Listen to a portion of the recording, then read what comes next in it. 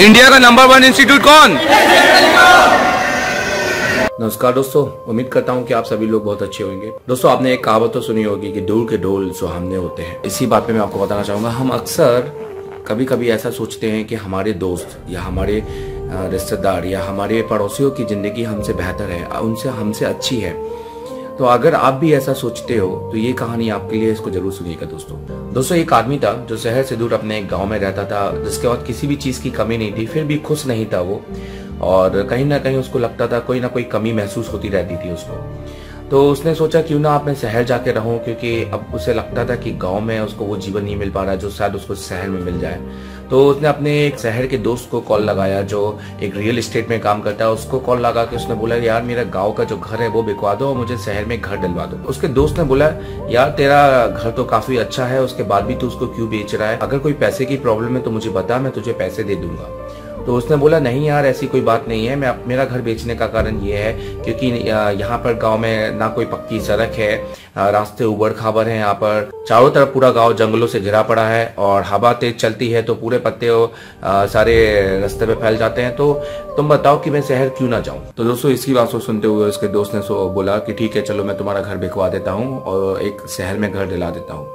अब वही दोस्त सवेरे का अखबार पढ़ते हुए अगले दिन उसने एक ऐड देखा, उस ऐड में लिखा हुआ था शहर की भीड़ भाड़ से दूर, पहाड़ियों के बीच, हरियाली से भरा हुआ ताजी हवा युक्त, अपने सपनों का सुंदर मकान खरीदें। इस नीचे दिए नंबर पर कॉल करें। तो वो खुश हो गया और उसको ये मकान खरीदना था तो उसने उसके ऊपर कॉल किया। और जब उसने उससे कॉल किया तो उसके वही दोस्त ने फ़ोन उठाया जो उसका रियल एस्टेट का ब्रोकर था। और उसने बताया कि ये उसी का घर है जो वो बेचना चाहता था।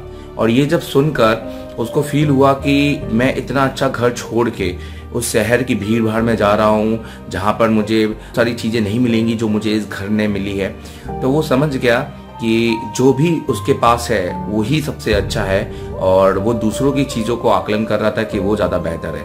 तो उसने अपने दोस्त को बोला कि अब मुझे घर नहीं बेचना है। दोस्तों, इस कहानी से मैं आपको ये समझाना चाहता हूँ कि हमें अपने जीवन से कितनी शिकायत होती है। छोटी छोटी से दुख हमें, हमारे बड़े दुख लगते हैं और दूसरों की छोटी छोटी खुशी भी हमें उनकी बहुत बड़ी सी खुशी लगती है। दोस्तों, मेरा ये मानना है कि कोई भी डिसीज़न लेने से पहले दिमाग में कि अगर आप दूसरों को देख कर अगर कोई दूसरा काम करने वाले हैं तो मुझे लगता है कि कभी दूसरों के चश्मे से अपने आप को देखिएगा। हो सकता है कि आपको वो सारी चीज़ें दिखें जो शायद आपको नहीं दिख रही हैं और आपको फील हो कि आपका जीवन उनसे कहीं ज़्यादा अच्छा है। आशा करता हूँ इसी वीडियो के साथ।